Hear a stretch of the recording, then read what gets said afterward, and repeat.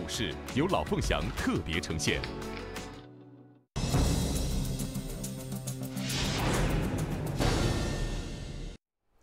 观众朋友们，晚上好！欢迎您收看由老凤祥冠名播出的《今日股市》，我是李婷，在上海问候各位。呃，今天的市场呢，我觉得怎么说呢，就是振幅是加大的啊，但是最终的这个走势，我说的是分时整个这个过程啊，可能是很多人啊。意想不到的。其实，在昨天的节目当中呢，大家对于 A 股到底能不能走出自己独立的行情，还是比较有分歧的。我们到底更多的是应该关注啊，海外市场对我们 A 股的影响啊，美联储到底加息它的这个偏鹰派的表述能有多么的强烈，还是说我们应该自己去反映的是本身市场的流动性的相对来说的充裕，以及我们经济的缓慢复苏啊？今天的市场我说过啊，就是昨天可能一天大。大家还不能够得到验证，A 股的韧性很关键的就是在今天啊。如果昨天不相信的，那今天市场是不是再度显现出了韧性？大家会相信 A 股可以走出自己就是一个阶段的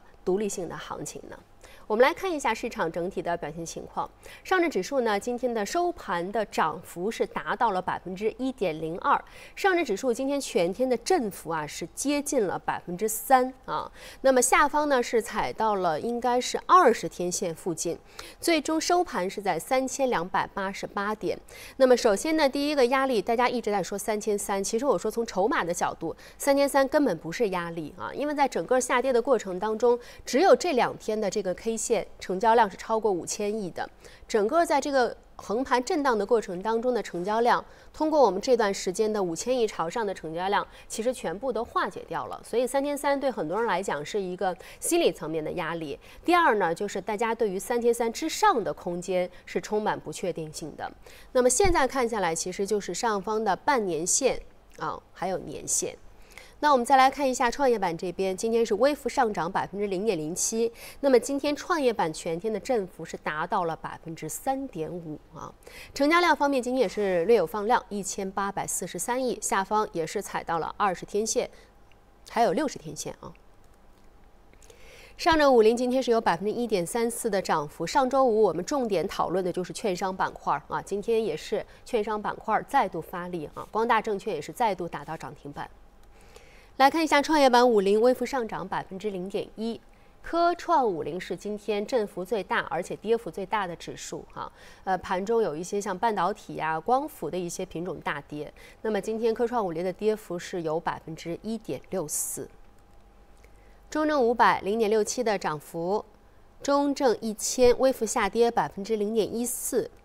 国证两千平盘报收。微信平台上和大家互动的话题：外围继续大幅调整，短期 A 股能不能独善其身？A 能，V 型的反转展现了强劲的买盘，A 股将会延续自身的节奏继续上行。B 不能，外围的扰动反复施压，A 股指数呢自身也正处于一个压力区啊，其实就是在三千三百点附近。那么欢迎大家到我们今日股市的微信公众平台来参与互动啊，参与投票。那么今天在节目当中，我们请到的嘉宾呢，在场内的邀请到的是徐熙瑶啊，欢迎徐熙瑶。另外在场外，我们连线到的是张运磊，还有吕松杰。稍后呢，咱们来听一听几位嘉宾对于今天市场的这样的一个宽幅震荡的格局，对后市如何研判。好，简单看一下今天市场整体的收盘数据情况啊。每天呢，通过总结啊这些数据，其实对于下一个交易日的操作是非常有帮助的。先来看一下指数层面，今天只有科创五零是绿盘报收。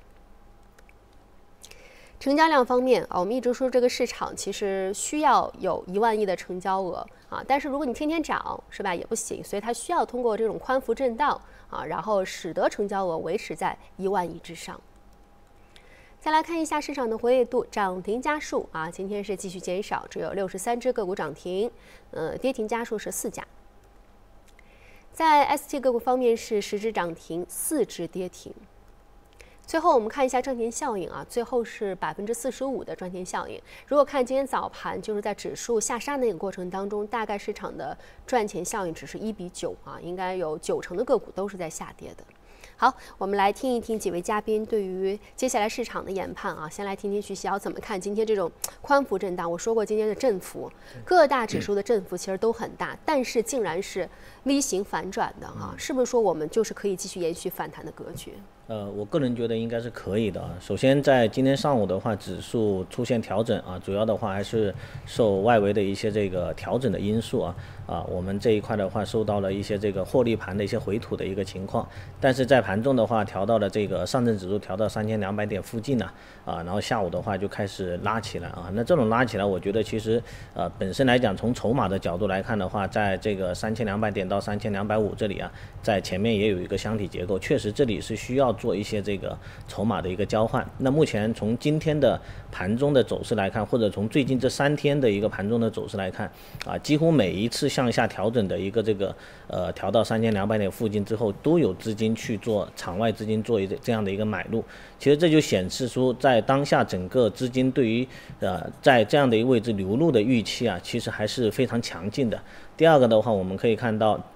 今天微型往上去走的一个板块啊，其实是整个券商板块。其实券商板块的话，从呃我们之前所说的这个对于一些题材个股的一个人气带动来讲，它是最强的。而且对于整个金融板块的人气带动来讲，它也是最强的。我们看到券商拉上去之后，到了最后的这个半小时的盘面当中啊，整个银行包括保险。都出现了持续资金的一个买入，所以这个券商的一个拉升，它其实是整个金融板块的一种联动。那么这种联动的话，很容易让我们能想到，就是整个板块如果说在做补涨的角度来看，我们可以看到像保险、像银行，其实都是一个非常的低的位置，而且他们的这个估值，包括他们的一个这个呃 P P B 的一个位置都非常的低啊。所以说从资金的角度来讲的话，我觉得是在做一些低位的一些这个疯狂流入的一个现象。这个我觉得在今天盘。盘面上或者最近这三天的盘面上，应该是显露无疑的啊。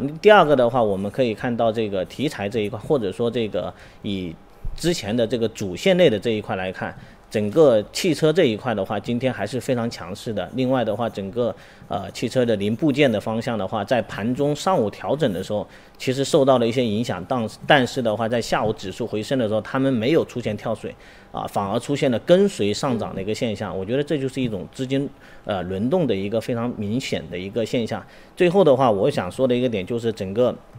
成交量的一个角度来看啊，就是连续三天的一个万亿的一个成交量，其实已经是打消了很多啊看震荡啊或者看调整的这些资金的一个念头。那只要成交量能够保持在这样的一个这个情况之下的话，其实未来的这个空间是有望打开的啊。北上资金今天的话，在呃昨天我们所说的这个外围影响之下，今天其实是非常稳定的。啊，再看一些这个补涨的指数来看，比如说上证五零呢，很明显上证五零它现在还是一个多头趋势，而且上方有一个缺口啊，这种缺口如果在这么强劲的这个成交量的一个推动之下，这个缺口的目标是很容易达到的。另外的话，这个创业板指数数啊，其实已经是调整了六天啊，震荡了六天。其实今天的话，最低点是刚好触及到了这个六十天均线啊。其实它在这个六天当中已经完成了这个日线级别的这样的一个回踩，六十均线也到了。所以从各大指数来看，我觉得接下来指数是容易，也是大概率往上去继续上攻的。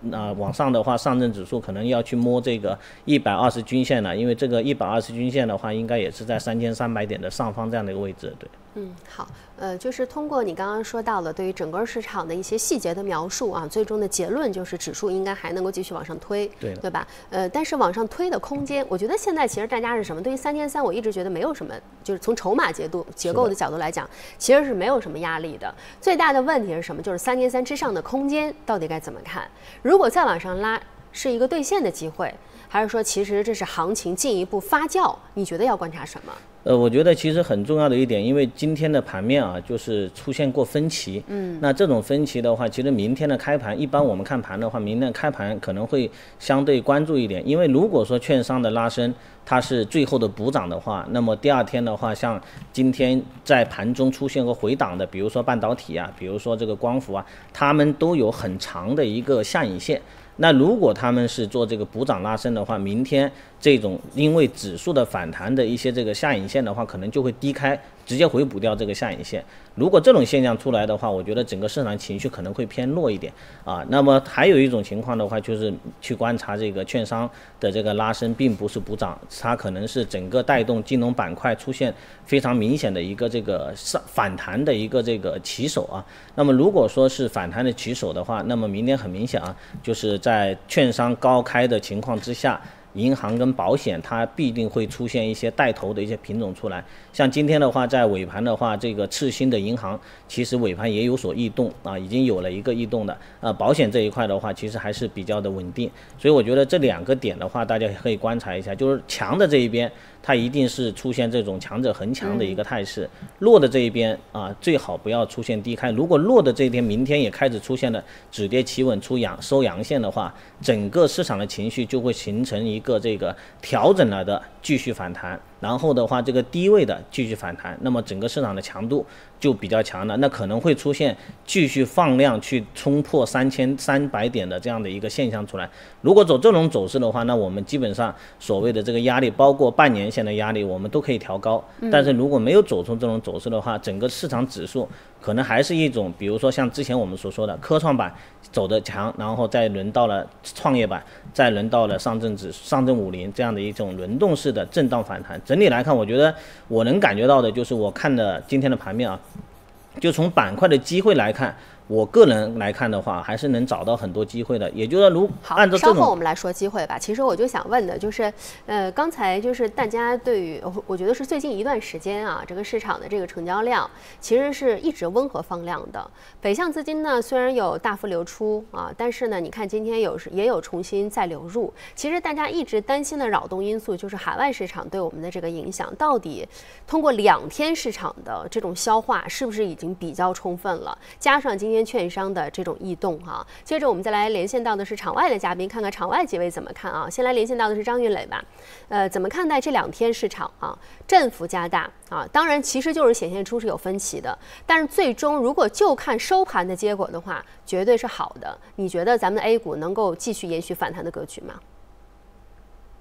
呃，我觉得短期来说的话呢，有望呃继续在向三千三百点这一个线的话再去冲击一下啊。但是我觉得整体的目前的波动区间应该就是在三千两百点到三千三百点啊。我并不认为目前一味的去冲过三千三百点或者上上方更高的一个空间进发，对后市更为有利啊。我觉得一方面我们其实。呃，经过了这一轮的超跌反弹，其实它已经把四月份的那个首先那个破位平台破位已经完全填补掉了，所以这个整个市场的话，它是需要一个换手和消化啊。一方面的话，获利盘，其实我们看到很多个股的话呢，出现连板，包括整个市场的赚钱效应，呃，之前已经体现一览无遗啊，所以消整个获利盘是需要消化的。另外方面的话呢，如果再朝上的话呢，已经进入到整个一个三月份、两月份到三月份的那样这样一个平台破位的区间啊，所以它是需要进入到第二个成交密集区，所以我觉得呢，在这里的话，它是需要一段时间。来进行一个消化啊，所以呃，之前超跌反弹是给了市场一个修复的信心的话，那我觉得再上去的话，整个市场的性质会有明显的不同啊。那么我觉得呢，正好的一个应该是在三千两百点到三千三百点做进一步的整固，这一块的时间是需要具备的啊。那么一方面，我们看到我们之前也说过的，就整个一个时间已经进入到整个一个周期中期，所以一系列的整个一个呃刺激的措施和政策。它经过了前一阶段的预期的反应之后，它是需要一定的消化，或者说见到整个一个成果。这个成果的话，可能更多的会体现中报业绩上面。还有一点的话呢，整个一个市场当中，应该从目前来看，我们是比海外市场最近更有韧劲，因为我们是总体来说整个货币政策是宽松的，这反映在社融数据上面。但从海外来说的，美国现在担心现在整个加息的幅度有多少，或者有几次。所以我们是更为的有利啊，但是另外一点，我们说这波的超跌反弹，为什么我们更有韧劲？因为我们是经过了我们的第一季度的一个超乎市场预期的这样一个下跌啊，所以我觉得呢，这次的整个超跌反弹，我不觉得并不意外。但是如果说自第一波的超跌反弹它是有力度的话，那么第二波的话，我觉得它需要有更多的实质性的一系列的东西要反映出来啊，所以我觉得在这里的话，我并不认为整个市场高举高打。对整个市场是非常有利，而且从今天的反应来看的话，从早盘上午还是基本上是一个大部分个股都是一个下跌，也就是靠长江电力以及中国石油在这里几个权重顶着。但是上午的几个权重顶着的话，令市场的整个小票没有产生信心的恢复，一直到整个一个下午，通过像整车、汽车，包括像房地产，最后拉动的券商乃至拉动整个金融板块，也就是今天的整个一个市场，我们看到了从权重来看，几乎是轮动了一遍，而且几乎是动了洪荒之力。那么。在明天这些这些品种是不是能够再接再厉？因为我们不要忘记这一波的金融股是几乎是走了超跌反弹当中是最差的表现最差的，而且从券商表现来看的话，应该说是今天好不容易光大证券再次涨停之后能够带动券商，所以我并不认为整个一个权重这一块是能够接力的，而且从今年包括从去年到现在的市场风格来看，大票和小票都是呈现出一个隔天来回切换。所以，如果说今天是权重表现更有利，小票表现差的话，那么有可能明天是一个小票表现的更出色，而权重有可能会让位。那么这样的话，对于整体冲过三千三百点，上方更看到更高的高、更高的高度的话，我觉得并不是十分有利的啊。所以我更希望在这里市场会有一个来回的换充分的换手，通过时间换空间的一个方式来进行完成。好的。我想问你啊，就是，呃，如果是时间换空间，或者说就是大家都觉得啊，三千三之上空间看得非常有限，你觉得影响大家做多吗？这个重要吗？呃，我我觉得不不会影响市场的做多，因为整个市市场当中的成交量是摆在那里，每天万亿级别。那么我们更多的是在这里的话说，整个一个指数的这样一个速率，希望它能够走了以后稍微能够缓一点。那么从整个市场当中的机会来说，我觉得从每天的万亿也不可能在这里市场一旦进一下子进入一个冷淡期啊。那么我刚才说过了，现在是更多的是用权重跟小票来回的切换，所以从整个市场的操作的机会来说，我觉得并不缺少，更多的可能反映在是市场当中的一种节奏感。就是说呢，在这里的话，我觉得权重因它不会有一个猛猛高举高打啊，继续加力。而且更多的，我觉得可能资金在这里的话，是通过权重给市场一个信心，然后在小票可能更多的是让位，让给大家更多的一个操作上的一个机会。所以我觉得宽幅的震荡，甚至不会影响到整体市场的一个机会。啊，市场的整体的热度，我觉得已经上了一个台阶，不会一下冷却下来。对啊，因为我觉得为什么最后这个问题很关键，就是有的时候我们觉得指数重要，呃，但是有的时候其实指数不重要。你三千三也好，三千两百八也好，其实是趋势更重要啊。就如果趋势已经形成，指数的这个节奏我们没有办法非常精准的判断，但是能不能做多啊？是继续做多，还是说减仓啊？这个是落实到我们具体的这种操作还有策略上的哈，这个比较关键。那我们再来听听吕松杰怎么看吧。这个位置上是不是还可以继续做多啊？就是 A 股还能。能够继续延续自己的反弹格局，你怎么判断？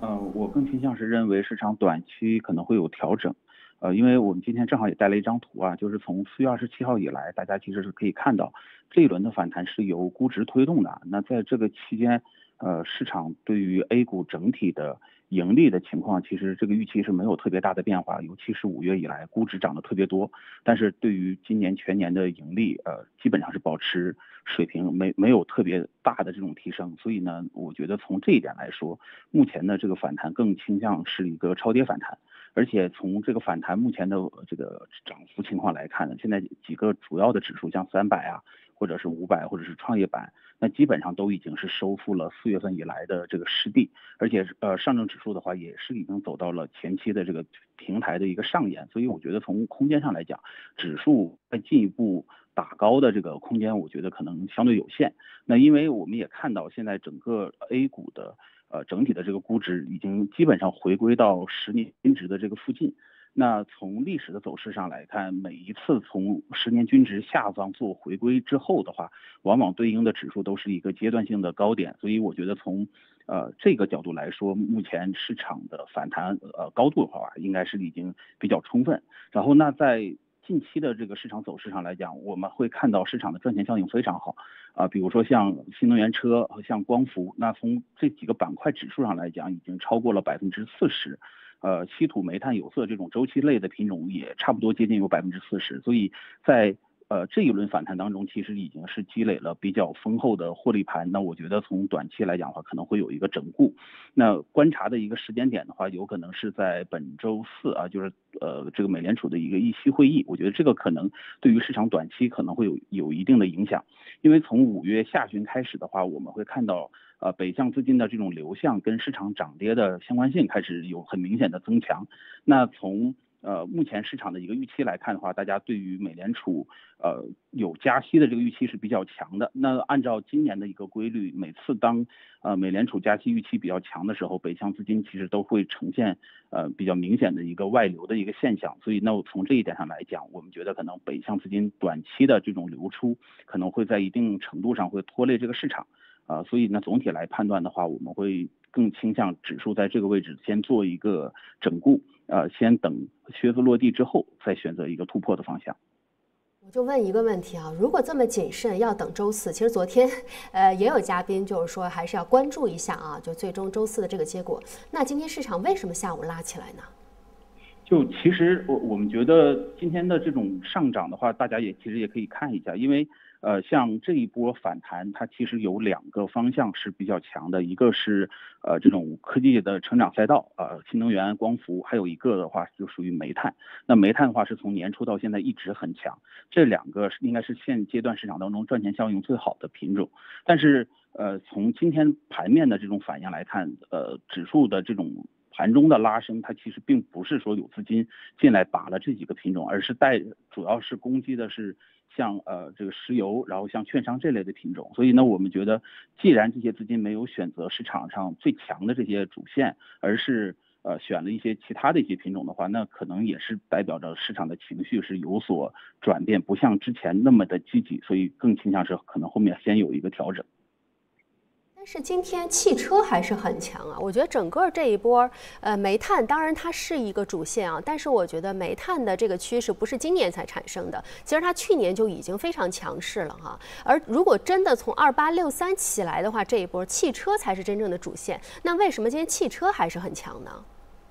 呃，我们觉得，因为这一波起来的话，那肯定是有一部分的资金，它本身它是布局的是这种科技成长，因为大家是预期，呃，盈利可能在四五月份是一个低点，后面随着稳增长的一些政策的效果显现之后的话，那大家会觉得业绩可能会有一个比较高的一个增长，这个是呃现阶段的一个主要原因。所以那这种预期上的变化，我们觉得也是反映到市场的这种估值提升上，就是在整个市场。呃，所有行业的业绩预期没有特别大的这种改善的情况下，那指数还能出现这么强劲的反弹，那肯定是在情绪上是有所变化。所以换一个角度来看的话，那我更倾向是在四月底的时候，市场的情绪是比较的悲观。那在经过了这一段时间的。呃，修复之后呢，现在的市场情绪可能是处在一个比较亢奋的一个阶段，但是实际上整个呃业绩的这种基本面其实差别并不大。那像光伏啊，像新能源车，其实今年大家如果去看它的呃每个月的这种数据的话，其实它也是没有大起大落。那唯一有变化的是市场的这个情绪。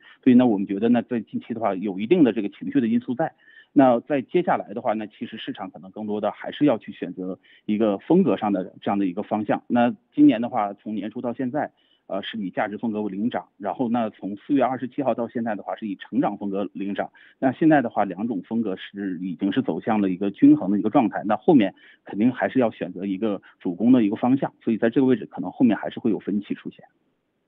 谢谢吕松杰啊，我一直觉得就是节目当中呢，就是呃最有价值的其实就是嘉宾不同观点之间的碰撞和讨论啊。我记得之前其实讨论过一次，就是价值和成长，对吧？大家是充满分歧的啊。呃，然后今天呢，其实对于我觉得连续两个交易日，A 股是显现出它的韧性的，但其实市场上还是非常有分歧的啊。我觉得这个讨论也是很有必要的啊。大家也可以通过我们的互动平台来和我们实时互动啊，分享一下您的观点。稍后。咱们来聊一聊操作。接下来进入到今天的有看头家加油时刻，我们请出吴周来听一下他对市场的看法。吴周你好，好的，主持人，欢迎大家收看有看头家加油时刻。今天指数探底回升，强势翻红，完美通过了压力测试。当下的市场中，我们应该重点关注哪些方向呢？首先来看一下第一张 PPT。在前几次节目里面，我们和大家连续分享了证券期货板块的投资机会。我们看到这个板块在前期经过连续调整之后，探底回升，一直沿着五日均线在震荡上攻。在上周放量突破六十均线的压制之后，今天回踩六十均线，确定突破的有效性，随后探底回升，今天大涨超过百分之五，板块内多只个股出现涨停，表现的可谓是非常的不错。此外，机构资金今天净买入超过二十五个亿，十天里面净买入超过七十六个亿。那对于这样的一个低位形态出现突破，并且大资金在加速流入的方向，后市是有望迎来一波加速上攻的行情。而证券期货板块作为市场行情的急先锋，今天强势拉升，也代表了市场整体有望再上一个台阶。那强势上攻的行情中，我们应该重点关注哪些强势股呢？那再来看一下第一个案例品种。我们看到这个强势品种在前期探底回升之后，在六月一号不仅是放量上攻，而且也突破了前期的高点压制，而筹码峰也迎来了明显的突破信号。此外，机构资金在六月一号也出现了明显流入迹象，而且这个品种也是汽车零部件的案例品种。那汽车零部件，我们看到在当时也是市场的强势风口。那对于这样的一个符合五大要素的品种，我们看到在随后也是出现了一波明显拉升的行情。那再来看一下强势股的第二个案例品种，这个品种同样是在六月九号出现放量上攻，量能出现明显放大，而且也是突破了前期两次高点的压制，出马峰也迎来了明显突破信号，而当时资金出现明显回流迹象，而这个品种也是煤炭开采板块，也是我们近期市场的一个强门口。我们看到像这样的一个符合五大要素的一个品种，在随后就出现了连续三个涨停板的表现，可谓是非常的不错。那如果您想通过学习此类五大要素判断强势股，把握强势股的买卖点，那么您可以扫描屏幕下方的二维码，下载有看头加 APP 软件来报名决战强势股系列大讲堂。今天晚上七点半也是我们第一节系列直播课。我们再来看一下昨天晚上和大家分享的有色金属板块这个方向呢，在前期突破一百二十均线之后，今天回踩一百二十均线，确定这个位置支撑的有效性。而机构资金在近期也出现了明显流入迹象，虽然今天有小幅流出，但是我们看到在八天里面也依然净买入超过二十三个亿。那这样的方向，后市也依然是可以保持关注的，特别是其中一些有资金在明显流入的方向，比如像有色金属板块的这个案例品种，从去年九月份调整至今，最大跌幅超过了百分之五十五。那在昨天放量突破了两百五十年线，今天虽然市场出现调整，但是依然明显站稳两百五十年线，而且筹码峰也迎来了明显的突破信号。而此外，机构资金也是净买入超过四千万，五天里面净买入超过八个亿。那对于这样的一个，我们看到低位出现放量上攻，并且形态出现突破，筹码峰也迎来突破，而且大资金在持续流入，而且我们看到这个品种也是作为当下强风口的一个板块。那这样的一个符合我们当下五大要素的一个强势股，后市也是有机会走出一波主升浪的行情。那我们此后也可以作为重点的关注方向。好了，今天的有看头家加油时刻就和大家先分享到这里。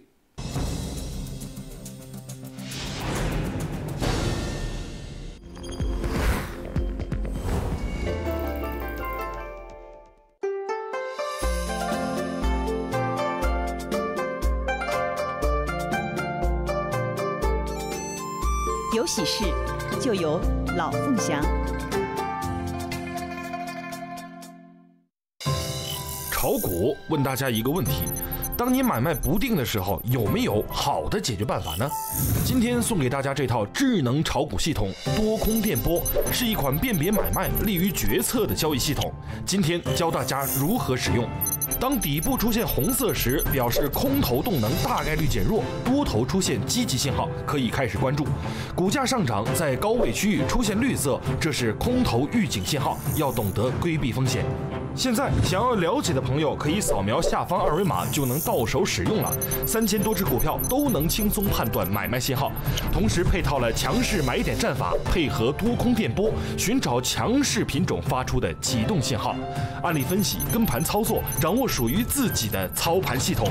现在扫码领取，不管你是新手还是老股民，都能轻松上手使用，看准机会，轻松交易，快来领取你的交易利器吧！王哥，你快帮我看看，为什么我换了股票还在亏呢？你呀，肯定是听了别人说的才买的。是啊，投资股票啊，最忌讳乱投和道听途说了。K 线形态这么纷繁复杂，但是啊，如果有一套简单易懂、信号明确的指标战法，说不定会给你带来不少的收获。真的有这么好上手的操作方法吗？当然了，你可以现在扫描二维码来领取这套 MACD 盈利战法升级版，强大的实战指标，给你多维度提供短、中、长周期投资决策，深挖炒股三大核心问题。选股、择时、买卖，信号清晰，一目了然。这也太全面了吧！操作起来方便吗？MACD 盈利战法升级版啊，简单易上手，只需三步操作，既便捷又轻松。赶紧拿起手机扫描下方二维码，立即领取这套 MACD 盈利战法升级版。好，那我现在赶紧扫码去领。MACD 盈利战法升级版，让炒股更轻松，让投资遇见美好。老凤祥提醒您收看今日股市。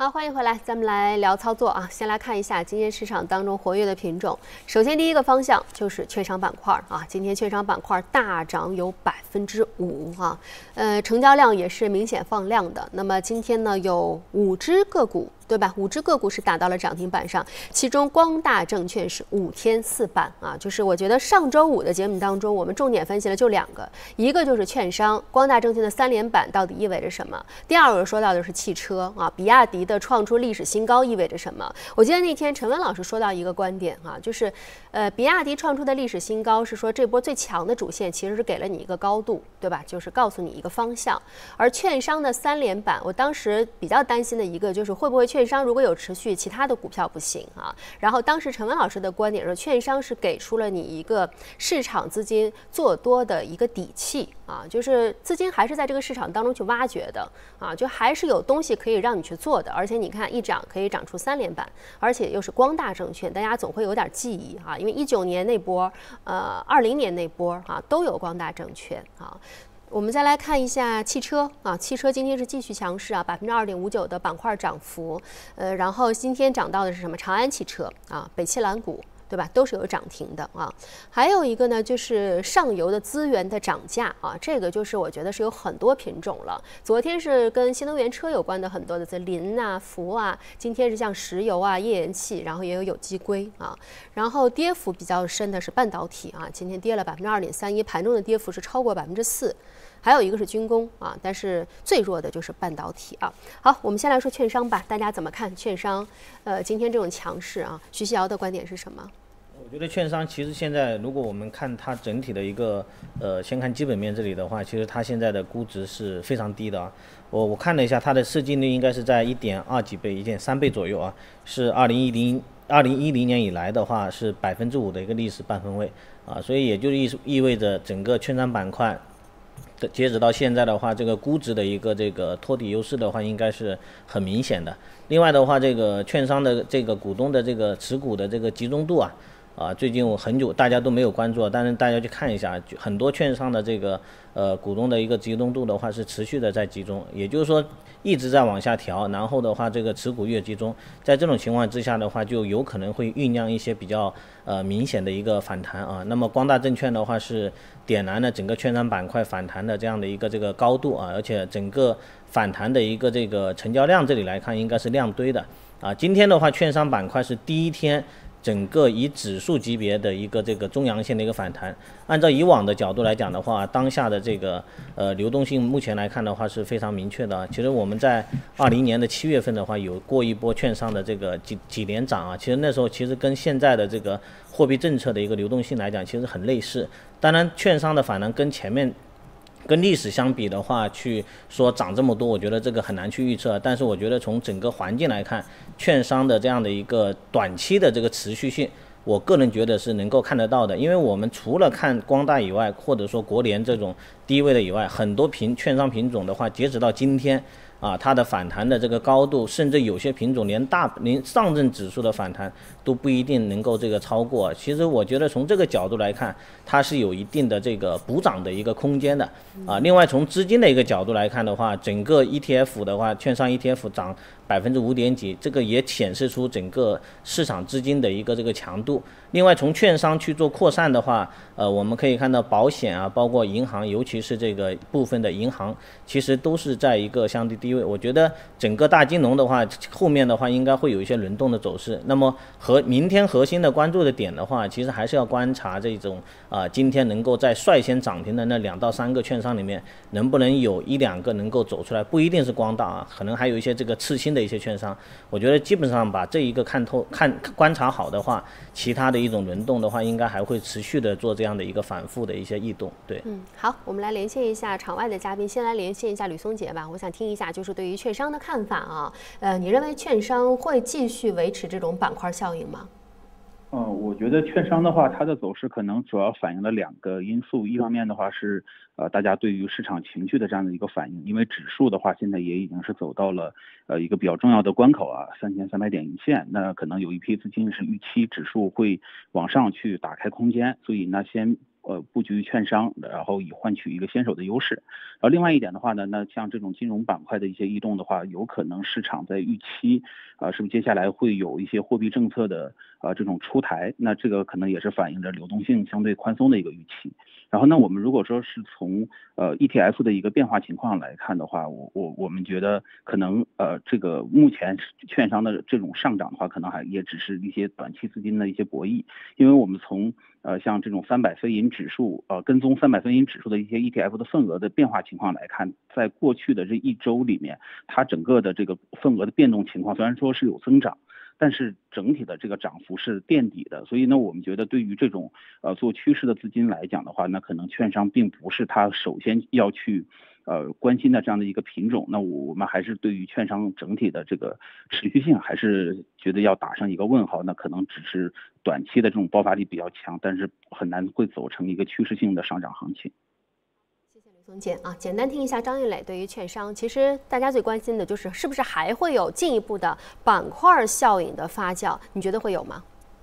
呃，我觉得整体板块效应不强啊，因为我们之前说到券商在行情好的时候的话，呃，券商应该说是一个先行指标，是首先发力的啊，至少不会是在。我们说其他板块都轮动一遍之后啊，到到到末尾才才进行发力，而且也不会呈现出一个单个股票突飞猛进，其他股票基本上其实前两天不跟的一个情况啊，所以我觉得呢，接下去就比较的关键，就是说整个券商不单单是光大一个在战斗啊，我觉得必须要有一个群体的一个效应啊，否则的话，我觉得更多的是一种补涨啊，因为这波的话，其实我们看券商除了像光大的话，其他的。表现都是非常一般，包括整个大金融的板块啊，所以我觉得呢，从券商来看的话，它必须是整体市场小票和大票权重股是处在同一个平台上，大家齐发力，那么券商是有施展舞台的空间的。所以我觉得，呃，现在没有看到更多的还是互相之间的板块的这种结构性的分化和内部的不断的滚动。那我觉得从券商板块来看的话，它应该说是难有一个整体性的群体性的效应的啊。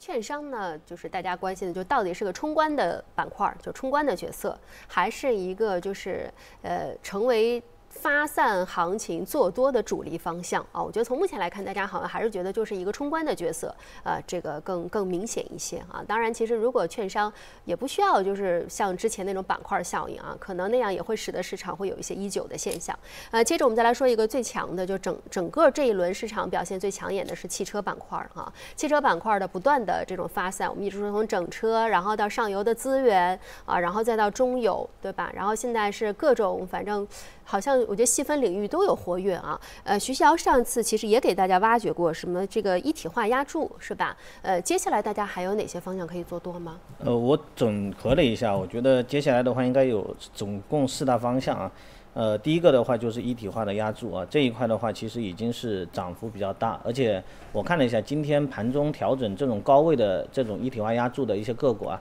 其实它调整是最最少的啊，也就是说整个资金在这里面的一个深入啊是比较深的，而且今天还有一些个股出现了三连板的一个现象，还是比较强势的。但是现在的劣势就是比较高啊，确实没法没办法下手啊。但是还有一些这个低位的第二个方向的话，我觉得就是空气悬架的这样。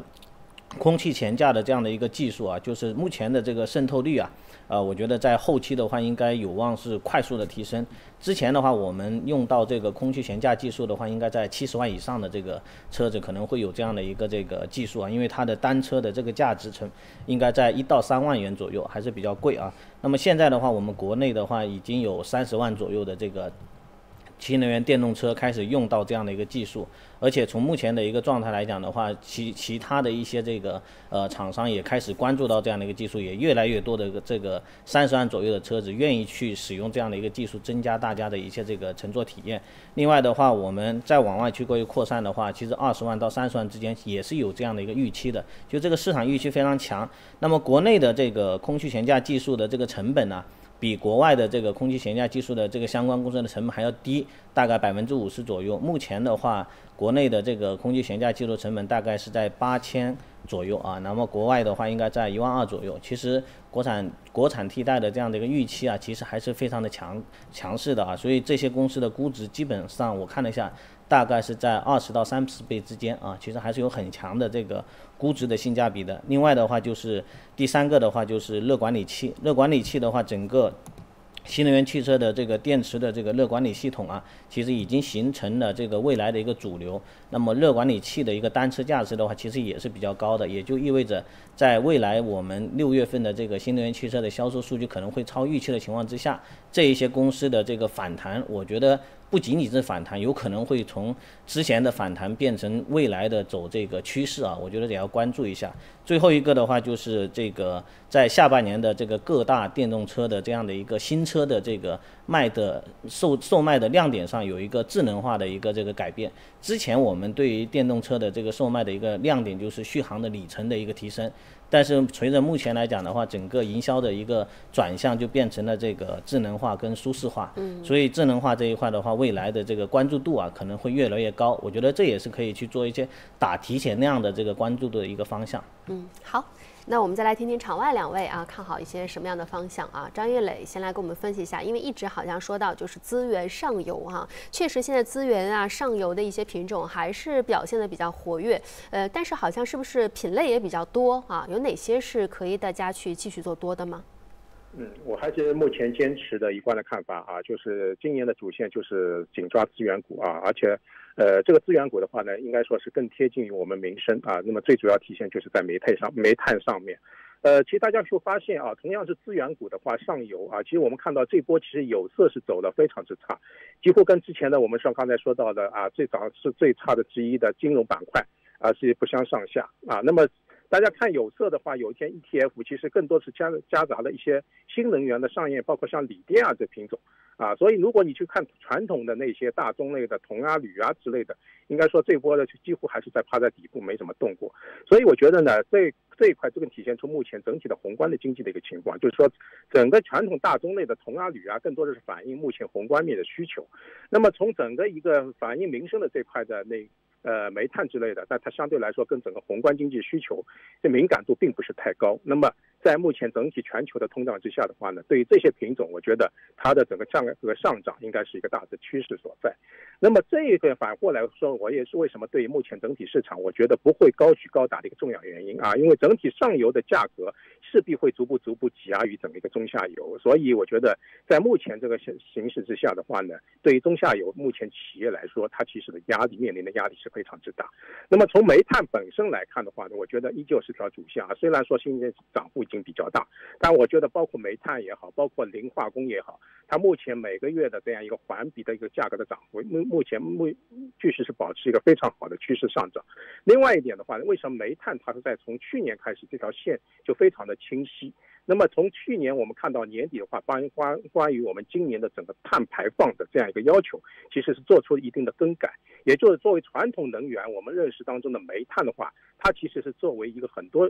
下游企业的原料之一，它的整体的碳排放的标准已经发生了一定的变化。再叠加上目前的整体的煤化工的一系列的改造，其实无形当中，其实有些企业的或呃呃机构的话，对于整体的煤炭，它已经给相对来说一些转型期的这样一个新能源的一个估值。那么现在结合目前整体煤炭企业十倍都不到的这样一个市盈率的情况的话，我觉得它的整体的估值已经是又上了一个台阶啊。那么我觉得目前从整体来看，再加上我们的整体的过去几年的这个产量，煤炭的产量。由于整个新能源试图以新能源去替代传统能源，所以产量一直是不足的。那么这也造成了很多时候的话，我们都是这样一个拉闸限电啊。所以为了保证这样一个电力的供应的话，那么其他企业包括像化工以及玻璃的话，整个煤炭更加是一种供不应求的一个状态。所以大的趋势能够看到，就是煤炭的价格依旧是保持一个继续上涨下去。那么对于全球来说的话，资源的争夺好，谢谢张玉磊啊，他还是依然看好煤炭啊，还有磷化工，其实就是通胀线啊，就是资源涨价这样的一个逻辑。那最后我们再来听听吕松杰给大家一些操作策略吧，自己看好的方向是什么？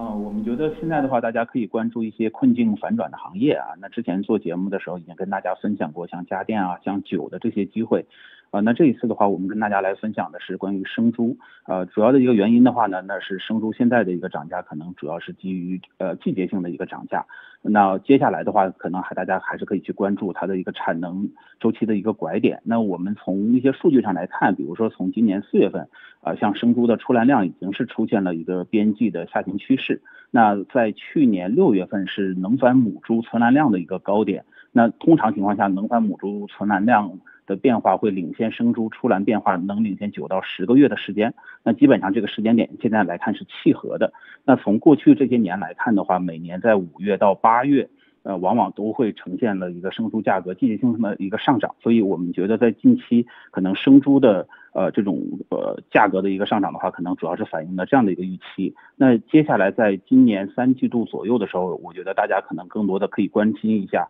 呃产能的一个去化的速度。那从目前来讲。呃，四月份的是能繁母猪的存栏量较去年六月份的高点去化的幅度应该是百分之八左右。那前面几轮这种猪周期，呃，产能去化幅度的话，通常会达到百分之十五到百分之二十。那目前来看的话，这个幅度去化的幅度还并不是特别的大。所以呢，那我们会判断现在应该不是呃生猪养殖的这个基本面的一个拐点。那我们觉得可能更多的大家还是围绕着季节性的涨价去做一些博弈。那在这个过程当中的话，可能接下来。呃，会呃，随着这种产能的不断去化，大家会看到数据上能呈现一个更加清晰的一个拐点，所以我们觉得可能在接下来大家可以去关注的是生猪养殖的这一个方向。好，谢谢啊。稍后呢，咱们来看看观众朋友们今天在微信公众平台的投票结果。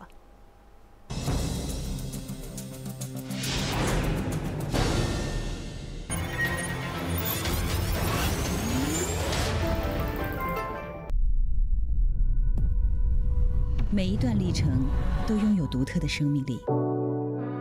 不跟随也可风华万象；不怀疑，学会欣赏自己；专注、坚持，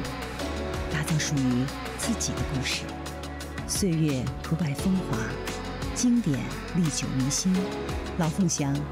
跨越三个世纪的经典。王哥。你快帮我看看，为什么我换了股票还在亏呢？你呀，肯定是听了别人说的才买的。是啊，投资股票啊，最忌讳乱投和道听途说了。K 线形态这么纷繁复杂，但是啊，如果有一套简单易懂、信号明确的指标战法，说不定会给你带来不少的收获。真的有这么好上手的操作方法吗？当然了，你可以现在扫描二维码来领取这套 MACD 盈利战法升级版，强大的实战指标，给你多维度提供短、中、长周期投资决策，深挖炒股三大核心问题，选股、择时、买卖，信号清晰，一目了然。这也太全面了吧！操作起来方便吗？MACD 盈利战法升级版啊！简单易上手，只需三步操作，既便捷又轻松。赶紧拿起手机，扫描下方二维码，立即领取这套 MACD 盈利战法升级版。好，那我现在赶紧扫码去领 MACD 盈利战法升级版，让炒股更轻松，让投资遇见美好。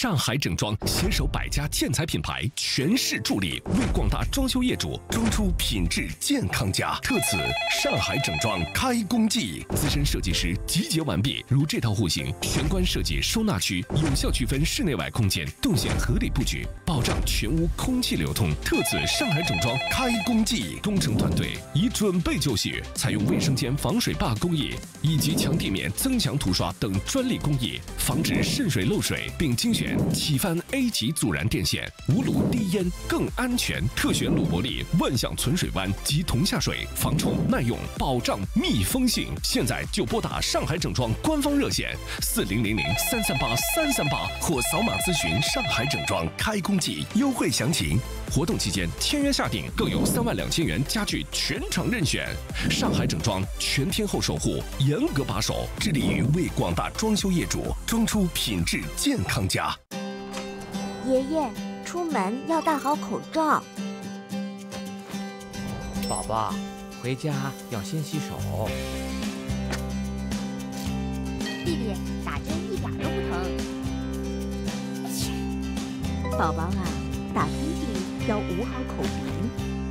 在家要多开窗，勤通风。健康防疫一定要做到家，做到家。九十年代，收获是一份仪式感，珍贵却少了些许便利。千禧年，收获是电脑前的专注，高效却更需要费心琢磨。后来，收获是掌间的金融图标，信息很多，答案却很少。现在，收获是贴心的服务和指导，是专业赋予的省心与便捷。九方智投，实战派股票学习平台。老凤祥提醒您收看今日股市。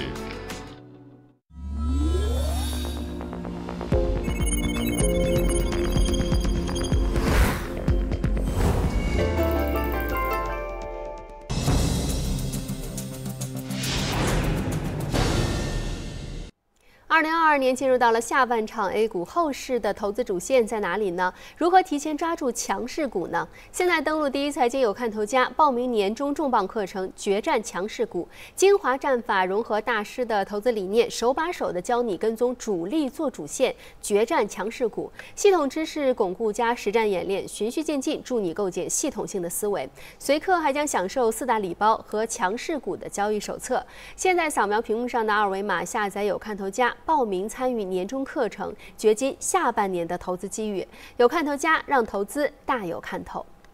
好，接着让我们请出黄伟来听一下他对市场的分析。黄伟，你好。好的，主持人，我们看到今天呢，市场剧情来了大反转。在昨夜，我们看到美股是出现了全面的一个下跌，这引发了大家对于 A 股今天的担忧。而这种担忧在上午呢，是出现了一个验证。整个指数在上午是出现了一个连续的一个下跌，这让很多不坚定的筹码呢都选择了兑现，而剧情在下午出现了大反转，微型反转贯穿了整个下午的一个行情，直至收盘。从这样的一个行情表现，也再度印证了当下 A 股没有什么系统性风险，在外围市场整体表现不佳的情况下，我们 A 股成为了全球资本市场上的一抹亮色。所以大家应该对于目前的 A 股市场保持更进一步的信心，一定要坚定这样的信心，机会才会离你越来越近。毫无疑问，在今天市场最强的板块，除了传统在下午发力的一个券商以外，那一定是新能源汽车，或者是说汽车零部件。汽车成为了贯穿当下最热的一个点。我们在最近两天一直在和大家谈论汽车的投资机会。啊，希望看我们这档节目的投资者都能够啊领取资料之后能够有所准备，并且能够有所收获。那今天我们又要讲另外一个行业，因为这个行业我们也希望能够有一个提前量，它就是军工。我们来看一下，首先通过两个数据对比，大家可以看得非常的明确。从军工板块最七年啊最近七年的市盈率来看，大家很明显看到它是在一个绝对的低位啊，还不是相对，是一个绝对的低位。右边这张图，我们再从军工最近五年的营收，我们可以看到是出现了拐点向上的这样的一个节奏。从这里来看，低估值加啊这个高增长，成为了当下军工最核心的一个逻辑。那接下来呢，我们再来看一看军改另外一个重磅题材。国企改革三年行动方案今年呢是最后一年，那在今年必然会加速。而军工行业是本轮国企改革的重点行业之一。近期我们看到，像中航电子、中航机电发布了合并重组，标志着改革的突破。好，进一步，接下来我们来看啊，今天给大家带来的这份名单——军工低位潜力龙头的精选名单。你只需要扫描屏幕下方的二维码，并关注每日严选的公众号。关注之后，直接领取一下。军工这个板块所啊涵盖的面非常的广，所以这份名单其实选出来啊也是非常不容易，而且比较有难度。那我们已经帮大家选好，首先是各细分的龙头，其次是具备军改的这样的一个预期，还有就是股价在相对的一个低位，最近资金频繁的在进行一个吸纳。扫描屏幕下方的二维码，并关注每日严选的公众号，关注之后来领取一下。据统计，军工企业最近的一个订单啊，今年订单和采购生产规模都出现了大幅的上涨，特别是一些龙头企业。而多家军工企业此前发布的扩产计划也将进入到释释放产能，以满足下游需求的一个增长。同时，大额订单落地以及多家企业扩产，这也是军工核心逻辑的一个最强音。我们来看这两个，一个是第一个股票在最近走出了三连板的强势行情。量能也在不断的放量，第二个个股三天大涨超百分之二十七，而同比下方的量能也是非常的啊这个急剧啊急剧，那这个呢是最近几天的一个标杆啊，那我们希望从这个标杆着手去推引出一些低位启动的一些品种，所以今天给大家送出的这份低位潜力的精选名单，含金量满满，扫描屏幕下方的二维码，并关注每日严选的公众号，关注之后来领取。我们来看几个案例。第一个案例呢是国企改革核心受益的军工龙头，那它的一季报业绩是翻倍的啊，盈而且盈利能力也是显著的提升，而且它目前在手的一些项目产能已经开始进入到释放周期了。股价方面呢，形成了一个箱体之后，目前已经开始盘出箱体的一个小结构，现在开始出现了急剧的一个放量。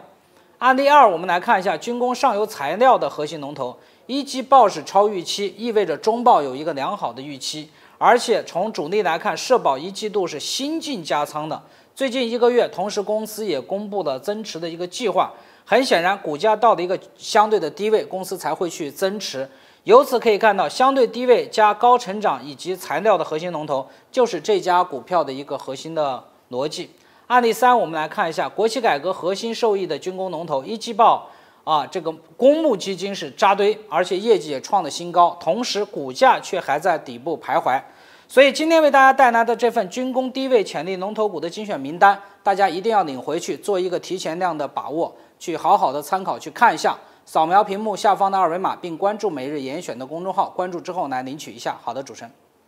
好，最后给大家来介绍一下啊，明天还是有新股可以申购的，在交易时段呢有三只新股啊，可以去申购一下。呃，最后观众朋友投票结果今天是六十二对三十八，选 A 的比例非常高啊，认为呃 A 股将会延续自身的节奏啊，继续上行。今天的情绪确实不一样，而且我在互动平台上就是看到大家的这个互动的情绪也都是比较乐观的啊。最后我们来看几个数据，看看这个数据能不能更加让大家坚定做多的信心。呃，首先来看一下北向。量资金在上午还有流出，到了下午呢开始有流入，最终是流入三十九个亿。深股通呢是三个亿，沪股通是三十六个亿。净买入居前的是贵州茅台和伊利股份，净卖出居前的是比亚迪和宁德时代。我们来看一下这个数据，这是两融余额，这是截止到昨天的两融余额，非常明显的攀升。昨天盘中也是一个宽幅震荡，对吧？然后大家可以看一下今天晚上两融余额的变化情况啊。呃，然后徐潇再来给大家说一下明天的操作建议吧。我觉得今天市场下跌的一个核心因素，主要是受成长股这一块这个资金流出影响。我觉得明天。啊，要观察成长股的两个方向啊。第一个的话就是成长里面涨得强的零部件啊，因为它是一直在往上拉的，会不会做一个补跌，或者还是继续往上走？这是观察汽车零部件是吧？对，汽车零部件。第二个的话就是今天调的比较多的，像半导体啊，像军工这一块啊。另另外来来讲的话，就是科创板指数的话，其实也调了六天了，也要变盘了。如果说你 今天调的多的，像芯片啊，包括这个军工这里，在明天能够做反弹的话，整个情绪的一个修复啊。得到了一个验证。那么对于金融这一块来讲的话其实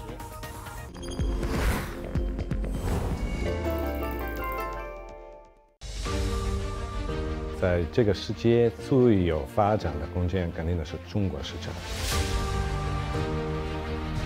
每一次一个外资企业出入一个新的市场肯定的会面临了一些不断的调整自己为了个性化。第一是我们的专属的我们的服务模式，因为这个服务模式就是从每一个人的需求开始。